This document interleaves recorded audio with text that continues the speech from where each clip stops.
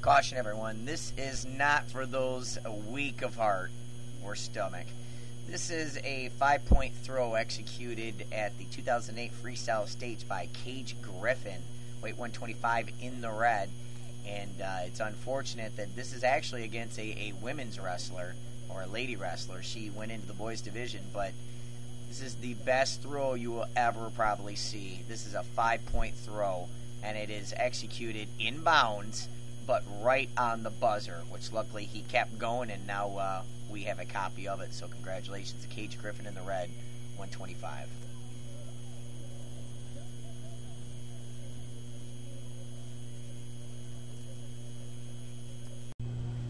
Okay, everyone, this is the last match of the day, round five, at the USGWA Regionals. Clare, Michigan, Clare High School. Same team, though, domestic situation. We have Kiarra Lane in the far side there in the maroon.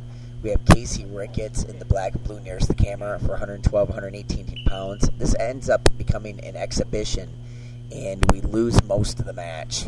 Um, but Kiarra drops down to a far side single. Kasey goes crossface. Gets a little bit of a sprawl going. Comes inside tie. Kiarra does. Switches back over to her inside tie drops down to a high C, tries to grab that leg. Kiarra tries to do the same on the other side. Kasey cuts the corner for the double, and they go out of bounds.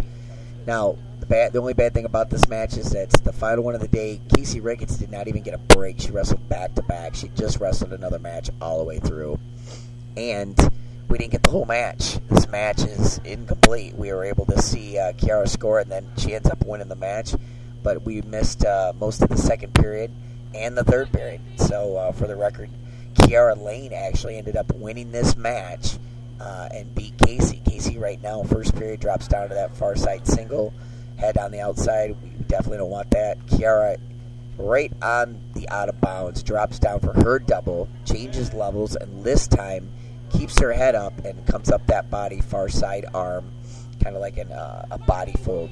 As now she scores the first two points of the match, and get this, she'll go on to win this match from this first takedown. Uh, we don't have the rest of it on tape. I apologize. I think we ran out of tape on the day. We are lucky to get everything up until this final match. Just really lucky. But Kiarra in the maroon and black on top scores first takedown, wins the match. Kasey gets uh, uh, an actual escape right there and this is still in the first period, comes to a front headlock. It almost looked like between going to that arm that like she was going to gator or she was going to go to that far ankle and then cut the corner to tie it up or, or take the lead. But she goes to almost like a bulldog cement mixer right here on Kiarra, and they're totally out of bounds. I think the ref's wonders if he's going to bring her back in or she's going to. And look at that, steps out. Uh, great day uh, for Kiarra. Kiarra ends up taking a silver medal for her division for uh, college level as she exhibitions against all the high school girls. But this is 112 to 118 pounds for the record, and they're both the same team.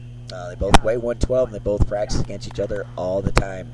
Advantage to Kiarra, though. This is the first time that uh, she wrestled against Kasey and, and won, and uh, took a took a second on the day in her division. So congratulations to both girls. This was a great match, and Good job.